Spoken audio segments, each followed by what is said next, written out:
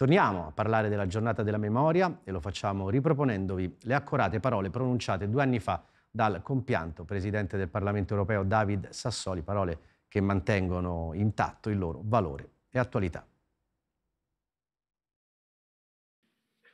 Ad Auschwitz è l'essenza stessa dell'umanità ad essere stata messa in dubbio dalla volontà di sterminare il popolo ebraico e con esso il popolo rom, i sinti, gli oppositori. Ad Auschwitz si è incarnata la negazione stessa della nostra civiltà.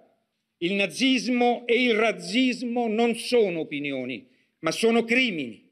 In definitiva dobbiamo accogliere l'ingiunzione della Bibbia, che troviamo espressa in modo esplicito, ma molto semplice, nel libro del Levitico. Non coopererai alla morte del tuo prossimo.